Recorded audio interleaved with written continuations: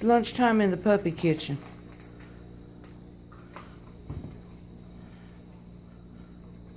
We got some really lazy puppies. They either have to sit or lay down to eat just about.